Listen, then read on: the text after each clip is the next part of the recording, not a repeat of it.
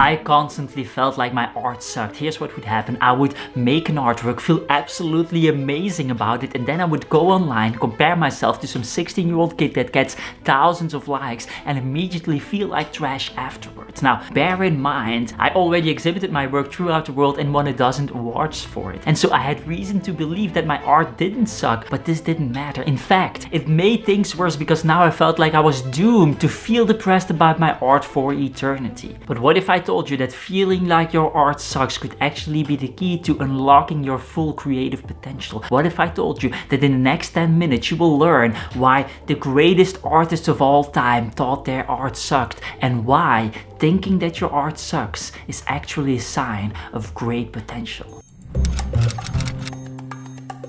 First powerful concept that we have to understand is the perception curve. You can basically separate drawing into two skills, your observation skills and your drawing skills. Now what artists don't realize is that improving your observation skills is much easier than improving your drawing skills. And so what happens is that you improve your observation skills faster than you improve your drawing skills. And this has a couple of implications. The graph that I made shows two lines, one line for your observation skills and one line for your drawing skills. And so what happens is that when you improve, the gap between the two lines becomes bigger. And so what does this mean for artists? Well, it means that when you increase your observation skill line, you improve your ability to formulate critique. You improve your ability to see mistakes. And so when you feel like your art sucks, this could mean that your art in fact sucks, but it also mean that you've improved a lot, that you made your observation skills much better. It's like Socrates said. The more we know,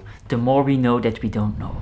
And so one of the questions we should ask ourselves is how can we know if feeling like your art sucks is actually a sign that your art sucks or if it's a sign that you are improving your skills fast. Well, if you're a beginner artist and you've been drawing for a couple of months, you simply can't know. You will have to draw a couple of months more. But if you're somebody who has been drawing for years, the simple trick is the following. Instead of comparing your art to 16 year olds on social media, compare your art that you've currently made today or this week to the art you made last year. And if you see a clear difference, then it means that you've been victimized by the perception gap. Now, let's say you're an expert and you've been drawing for five years, six years, 10 years, and you can barely see the difference between your drawings now and the drawings of one year ago. Does this then always mean that your art sucks? No, because there's also something that is called the improvement curve.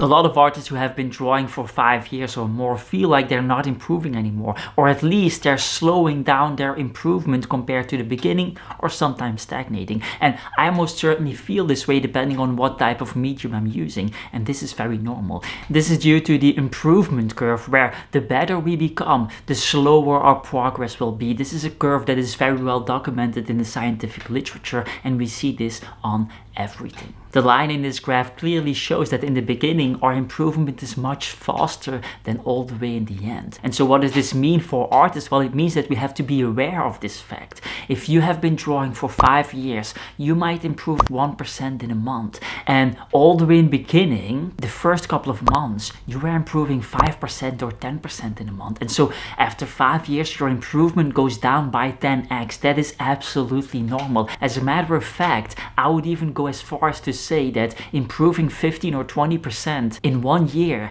after you've been drawing eight years is literally impossible. Nobody has ever done this. Picasso didn't do this. Whereas all the way in the beginning, the first three months, you can definitely improve 20% or more.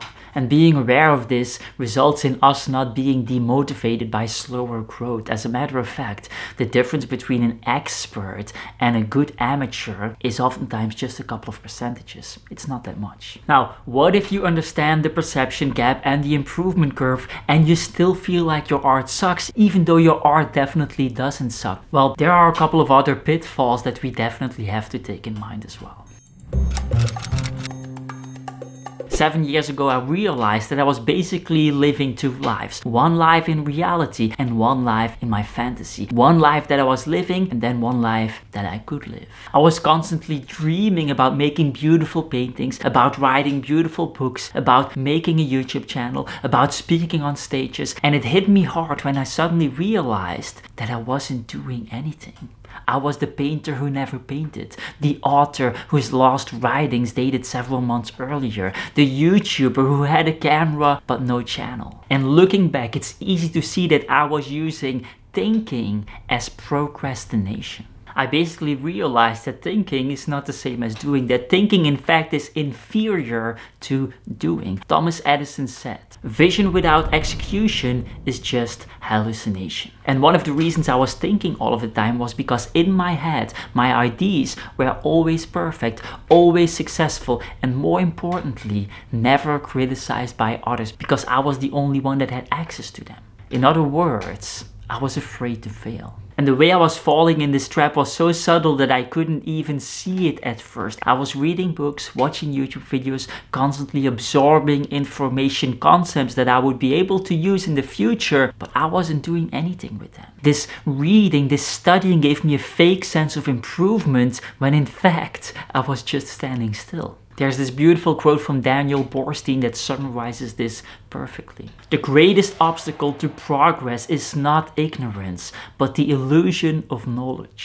Now, one of the big problems with this type of behavior is that the more you don't do anything, the harder it becomes to do something. Not doing breeds fears and doubts and overthinking because you actually have time to formulate those doubts and overthinking things in the first place. Doing is the antidote because doing deprives you of the time necessary to formulate those doubts and fears. And so the antidote is just doing. The fear of the white canvas just melts away the moment you start painting. And so what does this mean for artists? Well, the more you do, regardless of your skill level, the less you will think that your art sucks. And the less you do, regardless of your skill level, the more you will think that your art sucks. And so in some cases, Thinking that your art sucks has more to do with your work ethic than with your skill level. It's just like what Van Gogh said. If you hear a voice within you say you cannot paint, then by all means paint and that voice will be silenced. Now there's one more elephant in the room that we have to talk about, namely social media, because the truth is that it's never been harder for artists to feel good about their own work than it is today.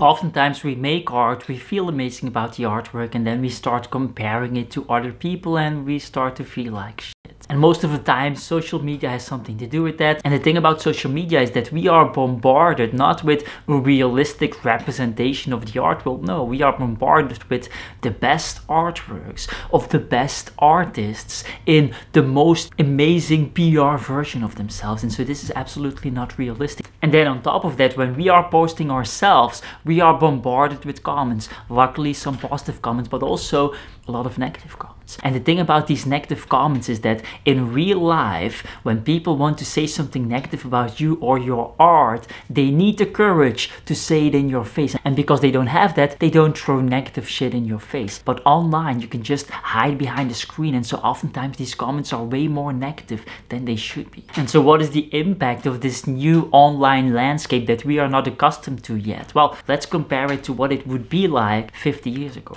If you were living 50 years ago and you wanted to dive into the art world and compare yourself to other artists, which is a very normal human thing to do, well, then you have two options. You can either go to museums or go to workshops. Now, the thing about workshops is that you are working closely with other artists side by side. And so these artists that would be better than you in those workshops, you would see them struggle and fail and complain. And this would be a realistic depiction of what it's like. And on top of that, if they see that you would be a little bit demotivated with your growth or with the fact that they are better, then these people are oftentimes just very friendly and they would encourage you. And so all of this falls away in this online new landscape. And we simply don't have a way to deal with this yet. Our brains haven't evolved to compare ourselves to the best versions 24 7 on social media. And so, what does this mean for artists? Well, it means that if you are becoming aware of the fact that the influence of social media is a little bit too much and is kind of demotivating you, well, then it's perhaps time to take a social media break, to do some kind of social media detox for a couple of weeks. And this is nothing to be ashamed of. You are not